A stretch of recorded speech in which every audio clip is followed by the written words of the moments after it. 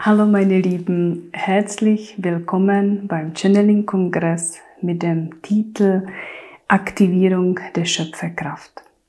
Ich finde, dass dieser Titel ganz genau passt zu dieser Zeit, denn wir Menschen kehren tatsächlich zu unserer Schöpferkraft zurück.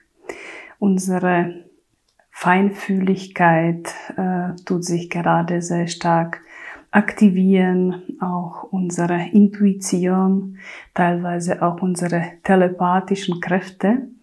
Wir kehren zurück, auch unsere Systeme, unsere Chakrensysteme kehren ebenso zu dem Ursprung zurück. Und auch unsere Erde, unser Planet Erde kehrt zu ihrer lichtvollen Matrix zurück. Also wir befinden uns gerade in so einem Prozess. Und dieser Prozess geht sehr, sehr schnell. Vielleicht haben wir auch nicht erwartet vor ein paar Jahren, dass, ja, dass diese, mm, diese Zeit oder diese Entwicklung äh, sich so schnell, ähm, ja, eben entwickeln wird.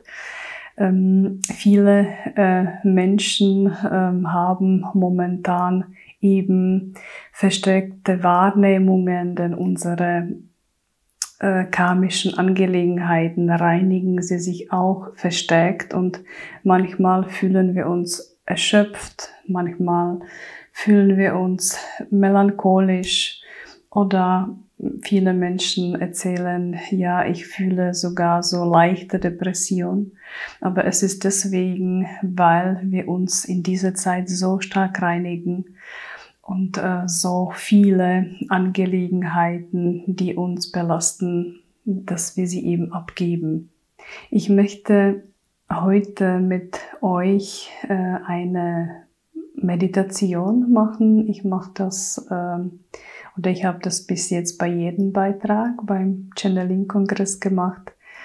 Denn die Lichtwesen und die Plejada, die mit mir äh, immer wieder kommunizieren, möchten euch einfach eine, ja, eine stärkende Meditation schenken. Ich weiß noch nicht, was es kommt. Ich weiß noch nicht, welches, äh, welches Thema kommt. Ich, ähm, ich weiß nicht, welche Worte äh, durch mich kommen, aber ich weiß, dass diese Worte heilend sind und dass diese Worte das Licht in eure Seele aktivieren werden in dem Augenblick hier und jetzt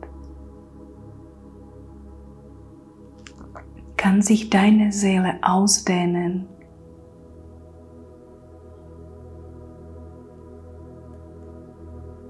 Deine Seele kann ihre Schönheit zeigen, ihre Farben und ihre Schwingung. Im Hier und Jetzt kann sich deine Seele mit der Schwingung des Kosmos verbinden.